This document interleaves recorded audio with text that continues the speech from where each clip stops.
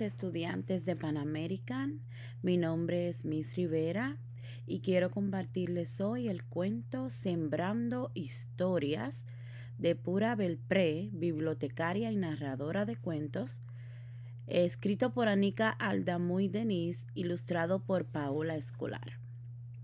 Escobar. Sembrando Historias.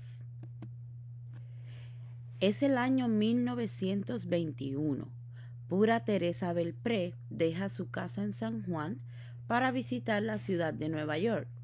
Las palabras viajan con ella. Las historias que su abuela le contó, cuentos folclóricos que Pura contaba bajo la sombra de un árbol de tamarindo en Puerto Rico. Ahora una isla nueva se extiende ante ella, lista para recibir las semillas de los cuentos que lleva consigo. Manhattan, una ciudad bulliciosa, más grande, ruidosa y llena de gente, y al mismo tiempo rebosante de esperanza y de posibilidades. Lo que comenzó como una visita para asistir a la boda de su hermana, se convierte en los primeros pasos en una tierra nueva y en una nueva vida para pura.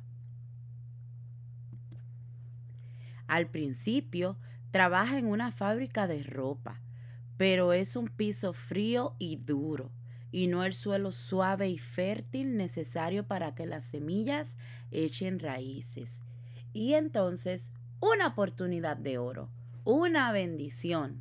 La biblioteca necesita un ayudante bilingüe. Pura habla español, inglés y francés. Es perfecta para el trabajo. Pero, ¿dónde están las historias que le contaba su abuela?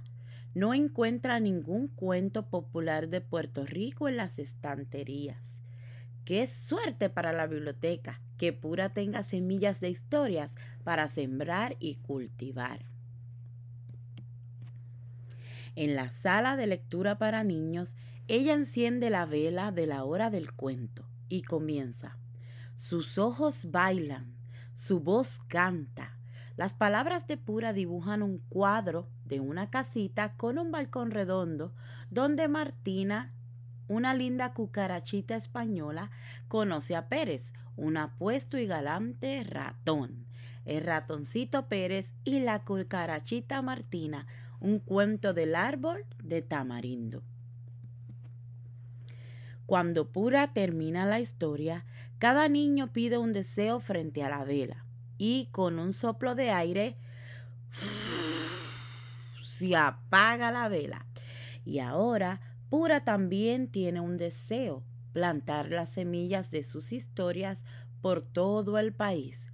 Entonces aprende a hacer marionetas, les hace ropa y pinta sus delicados rostros. Familias enteras vienen a escuchar cuentos populares en inglés y en español y a ver marionetas de pura, bailar en el escenario de sus historias. Pero las estanterías de la biblioteca necesitan libros. ¿Cómo hacer para que más niños y niñas lean Pérez y Martina y otros cuentos de Puerto Rico? Entonces Pura envía su historia por correo a la editorial Frederick Warme. Pronto Pérez y Martina se convierte en un libro.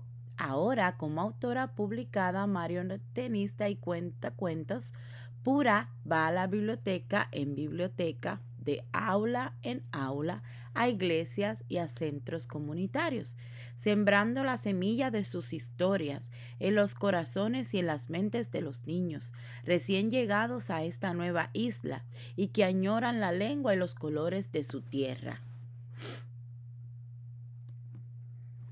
Escribe, aprende, da conferencias, enseña, viaja, pura nunca para, hasta que como la linda Martina conoce a su Pérez. Ay, ay, ay. Pura se enamoró y un día de diciembre en Nueva York, Pura se casa con el músico Clarence Cameron White. Un año lejos de la biblioteca, ella decide, un año para comenzar una nueva vida como esposa. Shui, shui, shui, shui. pero el año se alarga. Juntos viajan a nuevas ciudades. Clarence toca su música, Pura cuenta sus historias. Son años felices de música y de letras, separaciones y reencuentros, amigos, familias e historias siempre.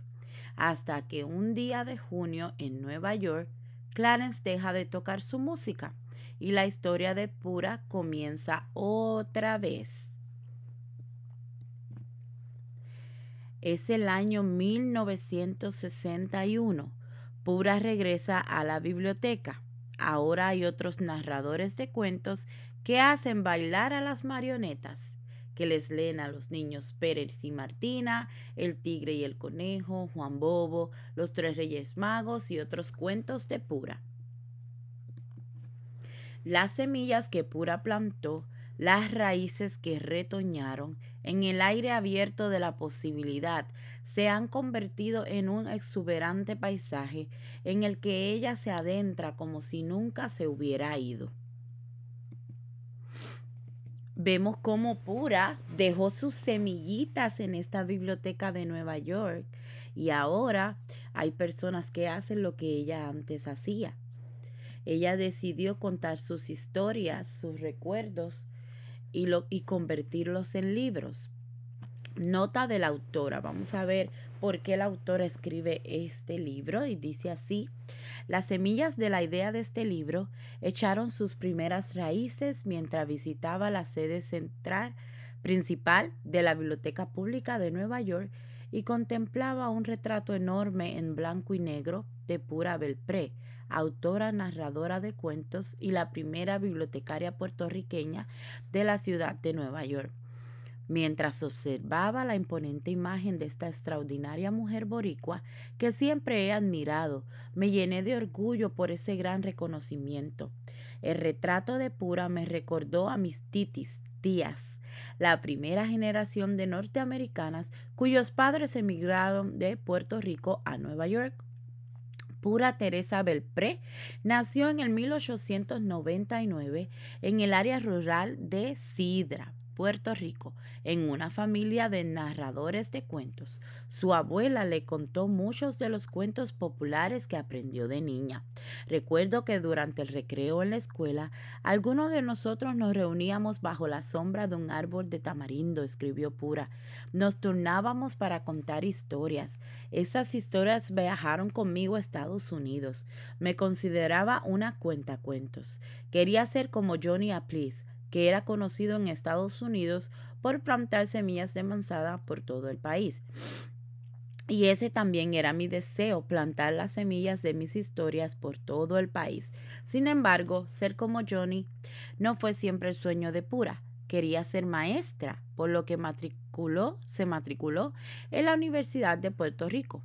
A punto de comenzar sus estudios en 1921, viajó a Nueva York para asistir a la boda de su hermana Elisa, Tal vez decidió quedarse en Nueva York simplemente porque le gustó, o quizá, como a muchos otros inmigrantes que llegan a Estados Unidos, le atrajo la promesa de una mejor oportunidad. Para Pura, la oportunidad le llegó en la Biblioteca Pública de Nueva York. Después de trabajar poco tiempo en una fábrica de ropa, la contrataron como ayudante bilingüe en la biblioteca de la calle 135 en Harlem. Su trabajo consistía en buscar libros y crear programas para la creciente comunidad hispanohablante del barrio. Cuando Pura descubrió que no había libros en español en la biblioteca, los escribió ella misma y se convirtieron en los primeros libros de cuentos para niños hispanos publicados en Estados Unidos.